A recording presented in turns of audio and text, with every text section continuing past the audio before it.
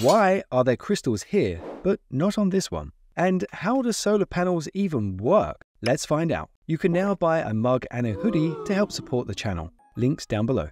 Solar panels convert light into electricity. They are photovoltaic, meaning light and voltage.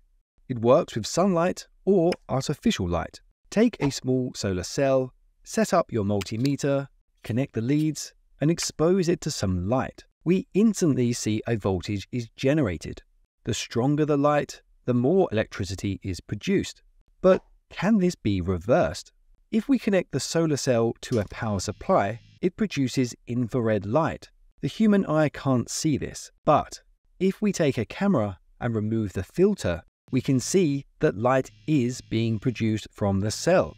Light is basically just lots of particles called photons. The solar cell absorbs these photons. When they hit the solar cell, they knock another particle called an electron out of the solar cell, leaving a hole behind. This is the photovoltaic effect. I'll explain in detail how it works later in the video. But the hole drifts down to the bottom and the electron is pulled into the top layer. The electron is attracted to the hole, similar to how opposite ends of a magnet attract. If we provide a path using a wire, the electron will flow through this to get back to the hole. We place things such as LEDs in the path, and that way the electron has to flow through them, causing it to emit light, which means it emits photons. So if the LED emits photons and the solar cell absorbs photons, then can the LED power itself? Tell me your answers in the comment section and I'll tell you the answer later in the video. You have probably seen solar cells on your calculator or your garden lights. They're often used in motorhomes and boats. We see them on houses and even vast solar arrays in fields. An array is just multiple strings of solar modules connected together. A string is just multiple solar modules connected together. And a solar module is just multiple solar cells connected together. To make a basic solar cell, we start with a metal conductive plate. This forms the positive electrode. On top of this, we find a thin silicon layer. This is our semiconductor material. Typically, this consists of a layer of silicon boron mixture on the bottom and a layer of silicon phosphorus on top. The joint between them is known as the p-n junction. On top of the silicon, we have an anti-reflective coating. A metal grid is then placed over this, which is our negative electrode. The thin strips are known as fingers, and the thicker strip is known as the bus bar. We typically have a glass protective layer over this because solar cells are very thin and they will easily break, so we need to protect them.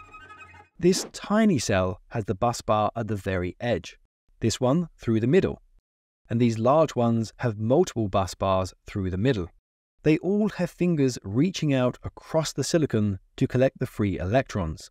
These electrons will flow along the fingers and then collect and flow together in the bus bars. We need as much light as possible to enter the silicon, and so the metal conductors need to be as thin as possible. More fingers make it easier to collect more electrons, but it also blocks light. The silicon material is shiny, which means light is reflected away. So the anti-reflection coating helps reduce this, but some will always be reflected. We also find cells with this rough surface. This helps capture some of the reflected light and direct it back into the solar cell. Each of these cells generates just 0.5 volts, but the larger the cell, the more current it can generate. To make a solar module, we have a solid back sheet with a layer of EVA adhesive over this. Then the solar cells are stuck to this and connected together. Another layer of EVA film sits on top of this, then a layer of glass, and finally the frame is fitted. On the back we have the electrical connections which connect to the cells.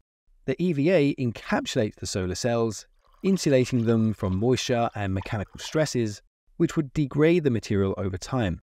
Looking at the solar modules, the top of one cell is connected to the bottom of the next cell, and this increases the voltage.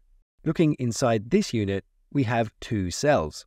both producing 0.5 volts. If we look closely, we can see the cells overlap and join to form a series connection. The ends pass through the back where we find the electrical terminals. Small modules use 36 cells, which produces around 18 to 19.8 volts, perfect for charging a 12 volt battery because we need more voltage than the battery to charge it. So we often find these used for off grid systems. But most residential installations are grid connected and they use 60 or 72 cell modules. Commercial installations typically use 60, 72, or 96 cell modules. Some can be even larger. When we connect cells in series, the voltage adds together, but the current remains the same. This module uses 60 cells, each providing around 0.5 volts and 8 amps of current. So it produces around 30 volts and 8 amps. This gives us 240 watts of power. If we connected four of these modules in series, we would get 120 volts and 8 amps. The voltage adds together, but the current remains the same. This gives us 960 watts. But if we connected four in parallel, we get 30 volts and 32 amps. The voltage is the same, but the current adds together. This also gives us 960 watts. We often use a combination of series parallel connections. The modules connect to a charge controller and inverter. These have a maximum and a minimum voltage and current to work. For example, this one might be 100 to 150 volts and 25 amps. Our string of modules has 120 volts and 8 amps. So we can't add another string in series because we will exceed the voltage limit. Therefore, we connect two strings in parallel, giving us 120 volts with 16 amps. The system could be standalone or grid connected. We can use a solar panel to directly power a load, but it only works when exposed to light. For example, this solar fan will automatically turn on when exposed to light. The brighter the light, the faster it spins. But it doesn't work at night. We therefore need a battery to store the energy. It charges during the day, and we can then use it at night. That's how this very simple battery charger works. However, the voltage and current will vary, and the solar module can overcharge the battery, which will damage it.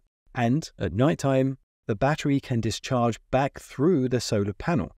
So we separate them using a charge controller. Now, when the sun shines, the controller charges the battery.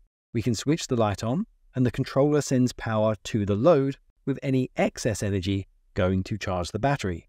At night time, the controller protects the solar panel from the battery, but it still allows us to use the energy stored in the battery. And that is how these solar powered phone chargers work. You can see from this simple garden light that inside we have just a solar cell connected to a basic charge controller. This separates the battery and the LED. The solar cell charges the battery, and when charging stops, the light is powered. We can also control the light with the switch. The solar panel and the battery provide DC electricity. If we connect this multimeter to a battery, we see a constant flatline voltage. That's because the electrons are flowing in one direction, much like the flow of water down a river. We can use this to power small DC motors, lights, and USB devices, perfect for motorhomes and boats. But many of our appliances require AC electricity, which works differently. If I connect to this power socket, we have a wave pattern. The electrons are flowing backwards and forwards, it is alternating direction, much like the tide of the sea, flowing in and out. To power these devices, we need an inverter. This will convert the DC into AC. Inside, we basically just have some electronic switches which turn on and off extremely fast to control the path of the electrons. You can watch our detailed inverter video to learn more. But using an inverter allows us to use both AC and DC devices from this system. However, the battery will run out of energy if it isn't recharged. For domestic and commercial installations, we therefore often connect to the electrical grid. In a simple system, we have just the solar panels connected to an inverter. This feeds the breaker panel and the AC loads in the property. The electrical grid connects via a meter to the panel also. The inverter must therefore synchronize with the grid. At night time, no solar energy is generated, so we buy electricity from the grid. On a sunny day, the solar panels will be enough to power a few items within the home, and so no electricity will pass through the electrical meter. On very sunny days, the panels provide more energy than we can use within the home, so the excess is sold back to the grid. This is net metering. More advanced systems will use a battery bank, which requires a charge controller. The solar modules will charge the batteries and power the appliances, but when the batteries are full, the excess power is sold back to the grid. At night time, the batteries power the home until they are empty. At this point, electricity needs to be purchased from the grid. In the event of a power cut, the batteries will power the home until they are empty, and then in the daytime they will recharge. Solar farms will have multiple rows of solar panels generating much higher voltages. These will then combine and connect into a large inverter and then feed into a transformer substation. Here, the voltage is increased and it is then exported to the grid. The problem with solar is that the sun keeps moving. It moves from east to west every single day, and in the summer, it's high in the sky, but in the winter, it's low in the sky, assuming you're in the northern hemisphere. Solar panels work best when perpendicular to the sun. We can see with this torch that the light is strongest here, but as it tilts, the light is spread over a larger area, so it is less intense. Ideally, we would just move the solar panels with the sun, but this is difficult and expensive to do. So, we need to assess the location for the altitude and the azimuth of the sun at that latitude. Then we have to check for shading, and then we choose the best orientation and tilt angle for the module. This involves a lot of data tables and maths, which is very time consuming. But with PVCase, our sponsor, you can simulate the actual location using their next generation AutoCAD based PV software, which incorporates 3D topographical data points so you can prototype the design as well as the electrical cabling route and cable trays and assess the placement of the inverter. The stringing and cabling can be automated or manually designed. And with their shade analysis, you can find and remove overshadowed modules to ensure optimal sun exposure design and even compare different designs side by side. Of course, you can then export the projects. You can design ground and commercial or industrial roof mounted projects and automatically produce construction documentation as well as a bill of materials. This helps you save time from the initial design all the way through to the procurement phase. Perfect for large commercial, industrial, or even utility scale projects. Click the link in the video description to learn more. Do check them out. You might have noticed that solar cells look different. There are crystalline types and thin film types. Where have you seen them used? Let me know in the comment section down below. One of the most common is the polycrystalline cell. It typically has these blue flakes, although we can get other colors like this emerald version. These flakes are individual silicon crystals, poly meaning many and crystalline meaning crystals. They look beautiful, but each crystal is a separate group of atoms in different orientations. The boundaries of the crystals are defects, and they actually reduce the efficiency of the cell. These are very common for hobby electronics, solar powered products, and also in solar panels. They are relatively cheap, but have an efficiency of around 13 to 17%. To make them, we basically take some silica sand and some carbon, such as coal, and melt it in an electric arc furnace. It cools down and forms these large chunks of raw silicon. This is a piece of raw silicon in my hand. It's very lightweight and you can see it's very shiny. I'll leave a link in the video description for where to buy some. These chunks are crushed into a powder, they are mixed with hydrogen chloride and boiled into a gas. The gas is then distilled to remove the impurities and it then enters a reactor and slowly collects on the surface of rods forming pure silicon. The pure silicon rods are then broken up they are melted and then cooled to form ingot blocks. As the material cools, the atoms join and form crystals. The blocks are then cut up into thin sheets and used as solar cells. This is a monocrystalline cell. It is rigid and it typically has a black or very dark blue color with no visible crystals. Mono means one. The atoms form a very orderly structure. Monocrystalline is more efficient, at around 15 to 19%, but it's also more expensive to produce as it is more refined. The pure silicon chunks are placed into a crucible and melted. A seed crystal is lowered into this, and the silicon atoms start to stick to it. This is then slowly extracted, and as it cools, it forms an ingot. The atoms structure themselves perfectly in this process, forming one giant crystal.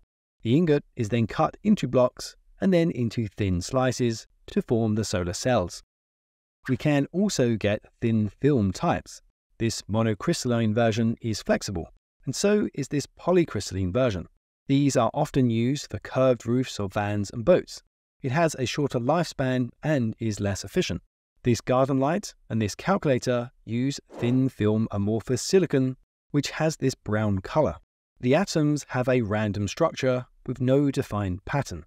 They are very cheap to produce, but only around 5 to 8% efficient. When we talk about efficiency, we mean the energy from the sun and how much is converted into electricity. The energy travels in waves. The waves are different sizes, from tiny but high energy gamma rays to large low energy radio waves. But most of its emitted energy is in the ultraviolet, visible, and infrared region. The visible spectrum is what the human eye can see. The wavelength determines what color light the eye will see.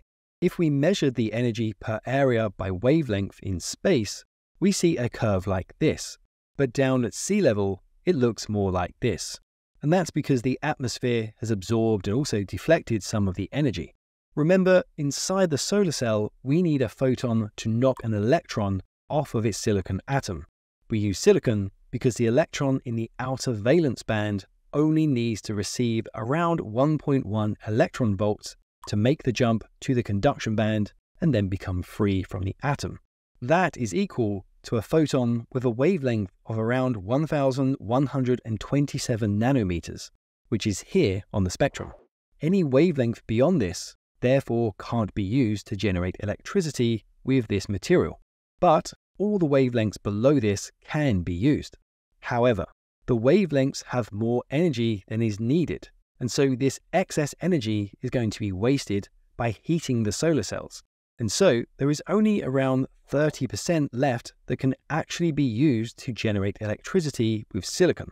Some of this energy will be reflected away, dust and dirt on the solar panel will also block some energy, and additionally, as solar cells heat up from the wasted energy, their efficiency will decrease. And after we've generated all that energy, we then also have energy losses from the inverter and also the wires. So this red LED cannot power itself. It has a wavelength of around 705 nanometers, providing 1.75 electron volts. We only need 1.1, and so the rest of this energy will be wasted as heat. But to produce the light, we are consuming 4 milliwatts, and only around 10% of that is going to be converted back into electricity. So we would need around 10 LEDs to power just one LED. I have tried it here, and 9 LEDs is just enough to produce light. LEDs also use silicon, and so do diodes. A solar cell is basically just a giant flat LED working in reverse. We can actually shine light into an LED and it will produce a voltage. Check out our LED video to learn how they work in detail. When we look at silicon atoms, they have 14 electrons, with four in its outermost shell, known as the valence shell. Silicon atoms are most stable when they have 8 electrons in their valence shell, but they only have 4, and so they will share an electron with each of their neighbors to achieve this. So, where do the free electrons and the holes come from? For the electrons, we add some phosphorus to one side because it has five electrons in the outermost shell. Four of these will be shared, and there is now one spare electron which is free to move around the material. For the holes, we add some boron to the other side because it has just three electrons in its outermost shell. There isn't enough electrons to share, and so there will now be a hole where an electron can occupy. So we now have a layer with too many electrons and also a layer with not enough electrons. This joins to form the p-n junction. N stands for negative because the electrons are negatively charged, and P stands for positive because the holes are therefore considered positively charged. At this junction, we get a depletion region. Some of the electrons move across and some of the holes also move across. But this will form a barrier with a slightly positively charged region and a slightly negatively charged region. This creates an electric field, which prevents more electrons or holes from moving across. And that is what forms the depletion region, where no free electrons or holes can exist. When light shines on the solar cell, the photons penetrate through the thin N type layer and reach the PN junction. If the photon has enough energy, it can knock an electron off of an atom in this region, setting it free and leaving an electron hole behind. Remember, no free electrons or holes can exist in this depletion region. So, the electric field pulls the free electron up into the n-type layer. The atoms share electrons, so another will move from the p-type layer to fill this hole. But this just leaves another hole behind it. This is also quickly filled, and so the hole drifts down through the p-type layer. A large amount of electrons and holes will build up in the two materials at their terminals. This causes a buildup of positive and negative charge, and this is what creates the voltage. The free electrons are attracted to the electron holes. Think of them like opposite ends of a magnet being attracted together.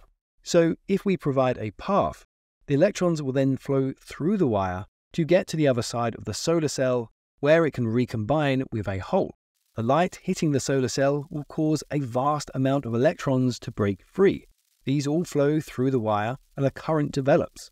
As soon as light hits the solar cell, electrons will flow continuously. We have therefore generated DC electricity. And that is how a solar cell works. Check out these videos to learn more about engineering, and I'll catch you there for the next lesson.